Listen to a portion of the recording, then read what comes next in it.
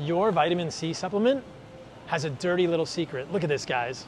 Vitamin C supplements are ascorbic acid. Synthetic ascorbic acid is made from GMO corn, and the vast majority of GMO corn is sprayed with Roundup, glyphosate, weed killer. When you look at head to head studies of naturally occurring vitamin C in something like an orange versus synthetic ascorbic acid, it's not surprising that this is beneficial for humans, but this doesn't seem to do much of anything. In a head to head study of camu camu berries versus ascorbic acid in smokers, only naturally occurring vitamin C from camu camu berries lowered oxidative stress. In observational studies, consumption of synthetic vitamin C has also been associated with worsening of metrics of cardiovascular disease. So here's the deal.